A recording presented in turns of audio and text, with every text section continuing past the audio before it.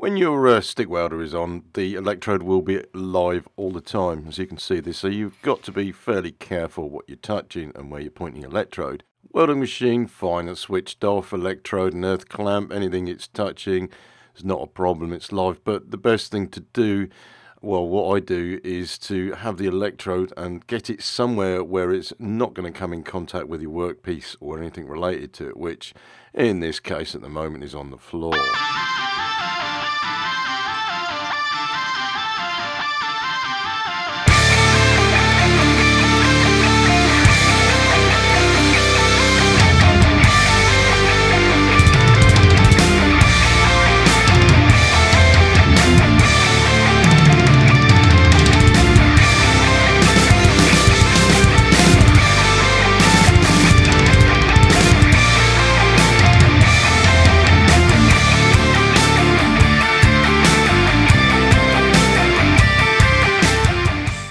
Okay, hello and welcome back to another edition of the uh, Land Rover Specific Welding. Now, the welding rods that we're using in this uh, video series is a power weld rod, which is available from Arc Rite. Go on the site, look at for welding and cutting, and then click on rods and electrode link and that will take you through to the E6013s which is a general purpose uh, mild steel all positions welding rod and you can see the price is about a tenner for 5 kilograms which is good value. We don't have a welding bench for our chassis project. What we have is a different welder positions and I'm going to show you a couple of them. What we're basically stuck with is a chassis. So welders positions, when you're welding, we're going to be either welding flat and uh, hopefully with the welder switched on. But for safety purposes, I've got it switched off for now. Probably the worst position is welding something called uh, an overhead position, which you're going to have to get yourself down below and underneath so you can weld overhead. I'll explain overhead in following videos, but basically it is going to be uh, something you're going to have to get used to. We're also going to have a look at the horizontal welds here, which you will need to do. There are some standard welding positions as opposed to welder positions, and you have like flats, horizontal and vertical fillet, horizontal uh, vertical, vertical down, vertical up, and overhead. We will cover these because these are the positions you'll need to weld in when you're welding parts on a chassis. Okay, to give you an example, we have here, um, this will be a vertical fillet, for instance, which is two pieces of metal at an angle, welding uh, vertically. And then, of course, we have uh, a fillet horizontal, which is the same thing. It's a 90 degree angle, and we're welding moving in a horizontal position. Okay. Now, if this makes it clear enough, we're also going to do a flat welding like so in this position and overhead, which is a pig to do for some people. This is also horizontal position as well.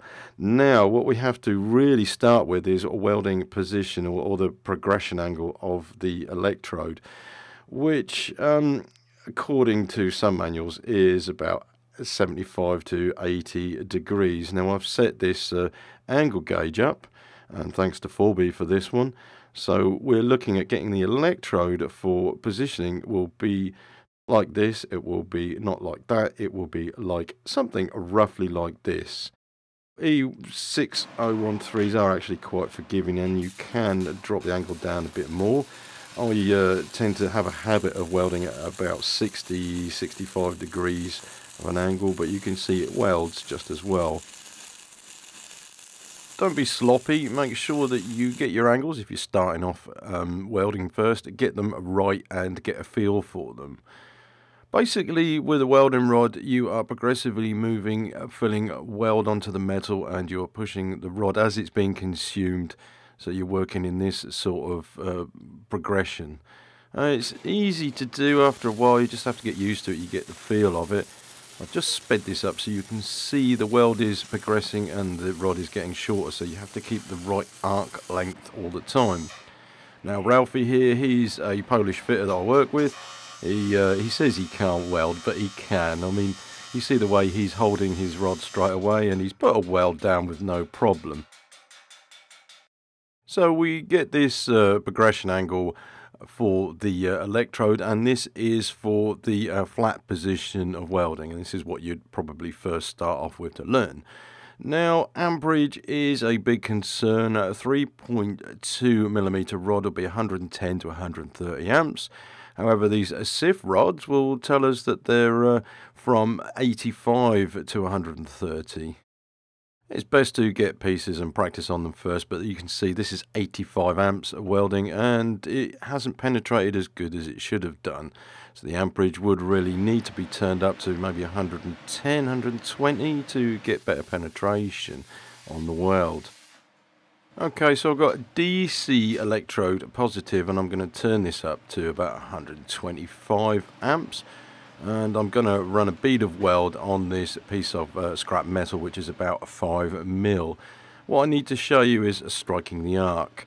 This is probably where some people actually get unstuck but it's basically a stroking and then you get spark then you want to get your position and get your arc length as close as you can. As they say, get a tight arc length.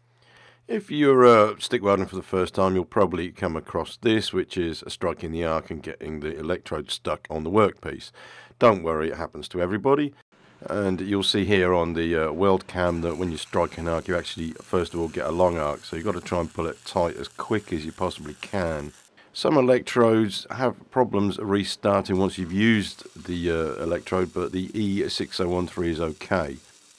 Now I'm going to show you this this is the weld cam where you can actually see the electrode and the deposit of slag and metal onto the met onto your job okay?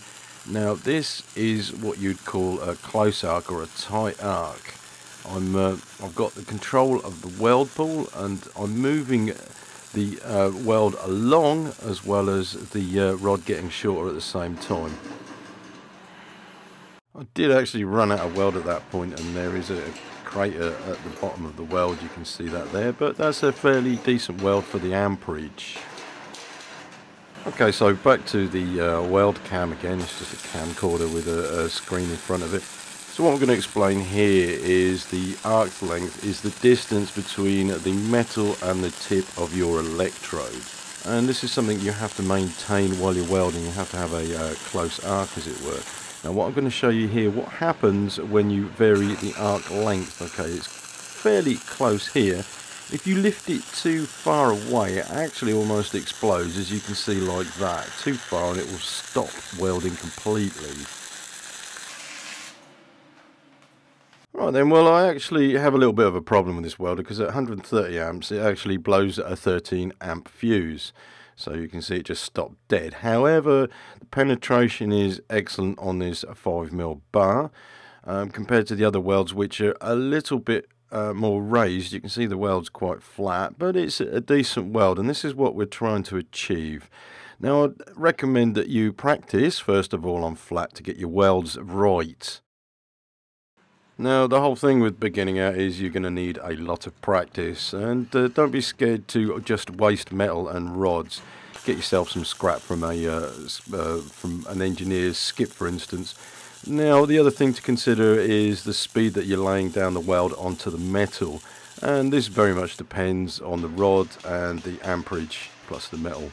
Uh, don't be afraid to experiment, of course, because um, some welders will say one thing, some welders will say another, so you have to do what you feel is right. Okay, here's some deliberate common mistakes. The first one on the left here is the uh, travel of the weld is far too quick and hasn't laid it down. The next one here, the arc length was too long and it blew itself out. This next one here is standing in a very uncomfortable position and wobbling about, so it didn't actually, you couldn't get anything consistent on it, and the rod length kept changing. And this is something really important to uh, remember. This one here, the uh, travel speed was far too slow.